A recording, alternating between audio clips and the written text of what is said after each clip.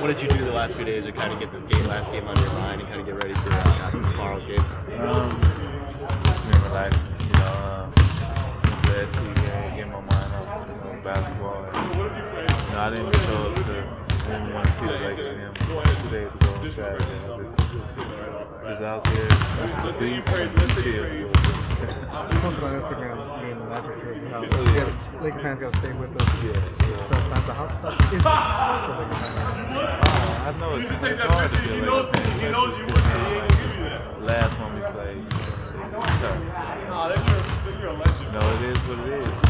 We still, we still a Lakers. We still go out there and fight each night. You know, try to turn the game around. Is there anything you can actually take out from that game going forward now that you have a couple days to kind of let it sit? Um, you don't want to feel that. That feeling, that's embarrassing, especially if you lose by 40.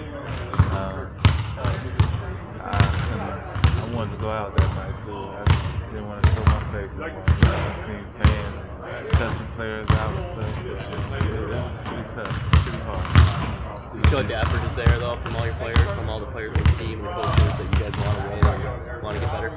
Yeah, ain't, ain't giving up yet. Our plan on it, you know, we still good spirits and you know, we just about to probably get X back and you know, hopefully we move forward with that and more players start coming on board. So you said this is your dream team to play for. You're on the board with uniform. What's the message to the fans and coaches? Uh, stick with you know. Um, you gonna have you know, relationships, you know, everything ain't perfect in relationships. You know, uh, sometimes my girls get on my nerves. Uh, I don't just leave her off. You know, I'm not cooking me a nice meal or something. Really helps.